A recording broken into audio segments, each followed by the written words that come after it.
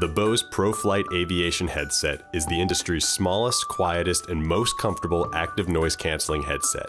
In this video, we'll give you an overview of the control module. On the front of the control module, the first thing you'll see is the power button and LED indicator. Next, you will see the selectable active noise canceling slider.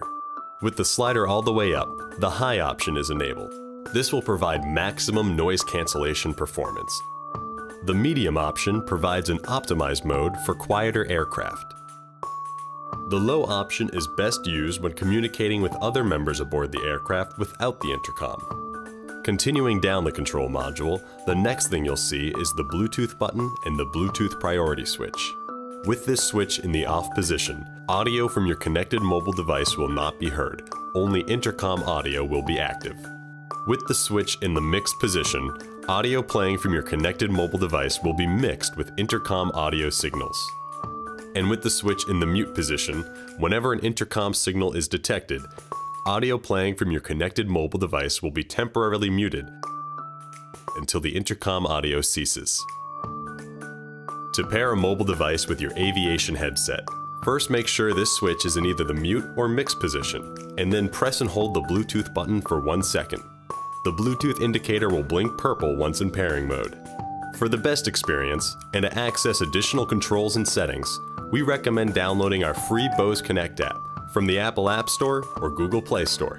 Once paired, the Bluetooth indicator blinks blue. Your Bluetooth button can do a whole lot more, because it also serves as a multifunction button. You can find more details about these functions inside the owner's guide. Also note the volume control on the right side of the control module, which is used to set the audio level of your connected Bluetooth device. Now let's take a look at the operation switches.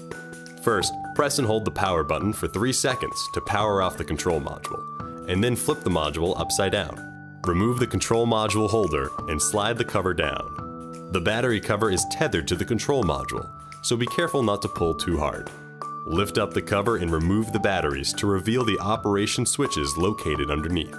To make an adjustment to these switches, use a pen or small screwdriver and gently slide the switch.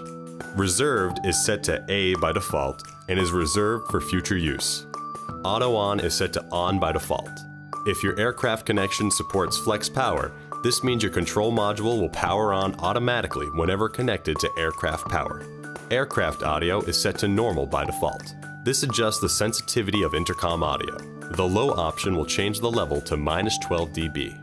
Intercom is set to mono by default. If your intercom system supports two channels, you can change this option to stereo. Auto off is set to on by default.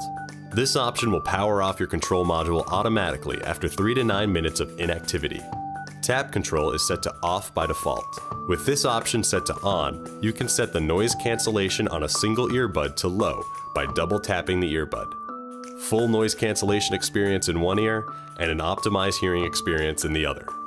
Once you have these switches in your preferred positions, reinsert the batteries and close the battery cover. For additional help, visit our website.